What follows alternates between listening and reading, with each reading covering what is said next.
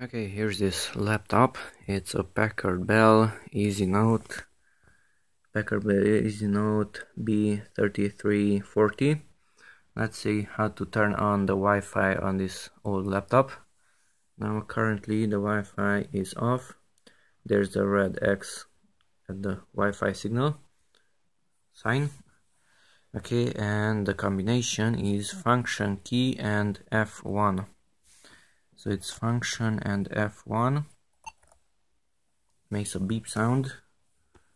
And it's not connecting quickly. Let's move the cursor there. There are wireless connections available.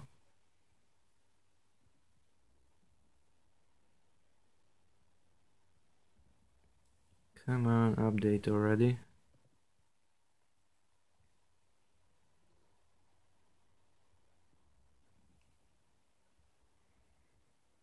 refresh network list.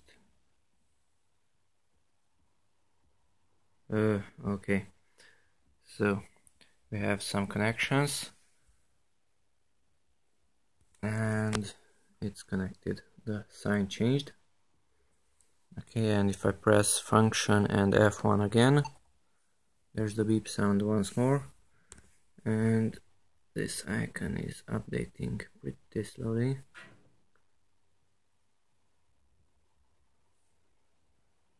now it's off. There's the red X. Okay so it's function and F1 it makes a beep sound. Now it's on. Now it's off. Now it's on.